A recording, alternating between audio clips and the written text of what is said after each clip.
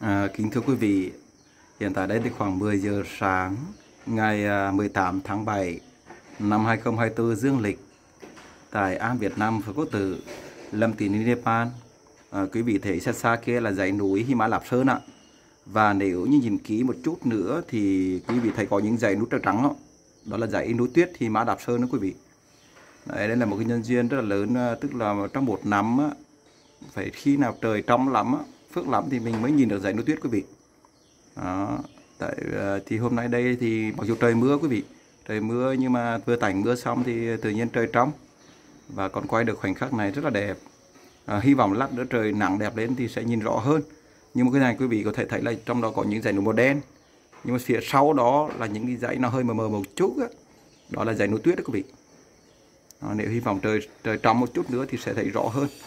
Và như vậy được thấy thấy như vậy cũng là tốt lắm rồi nó phất phước duyên quá lớn rồi. Đó xin chia sẻ đến quý vị ha. Quá đẹp. Mà con vừa đang lại kính pháp hoa à, tranh thủ được khoảnh khắc này thì quay lại cho quý vị xem. Nam mô đại thừa diệu pháp liên hoa kinh nam mô pháp ba hội thượng phật bồ tát nam mô đại từ đại bi quán thế âm bồ tát.